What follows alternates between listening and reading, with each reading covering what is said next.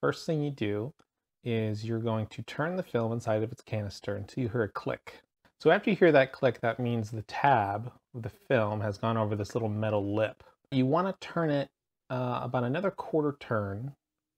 So then you take your other roll and you're going to pull the lead out. You're going to take this tab and you're going to be inserting it into this slot right here. But before you do, you want to take the underside of this tab and you want to get it wet, either using water or uh, saliva if you have to.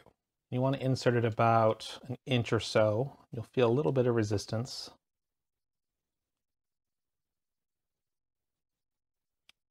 It's right there. I felt it slip just a little. You want to grab the film like this and pull. And there you go. There's your film tab.